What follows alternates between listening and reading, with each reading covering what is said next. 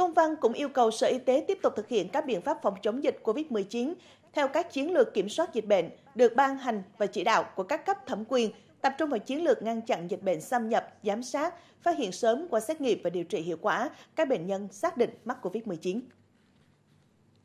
Chuẩn bị sẵn sàng các nguồn lực, phương án, kế hoạch, nâng cao năng lực truy vết, khoanh vùng, khám điều trị hiệu quả, sẵn sàng đáp ứng với các tình huống của dịch bệnh, xây dựng kế hoạch xét nghiệm diện rộng để sẵn sàng ứng phó trong trường hợp cần thiết. Chỉ đạo các bệnh viện, cơ sở y tế tiếp tục ra soát, kiện toàn, điều chỉnh, bổ sung kế hoạch phòng chống dịch COVID-19 và phương án đáp ứng xử lý các tình huống dịch bệnh tại cơ sở, chuẩn bị đầy đủ, kỹ lưỡng các kịch bản, thuốc, vật tư, trang thiết bị y tế để sẵn sàng tiếp nhận bệnh nhân, đáp ứng với các tình huống dịch bệnh, liên tục ra soát, đánh giá nguy cơ lây nhiễm COVID-19 tại cơ sở y tế theo Bộ Tiêu chí Bệnh viện an toàn phòng chống dịch COVID-19 và các dịch bệnh truyền nhiễm, bảo đảm hoạt động khám chữa bệnh an toàn.